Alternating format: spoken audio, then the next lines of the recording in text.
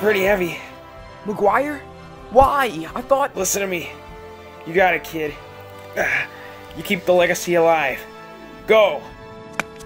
I won't forget you. They love me.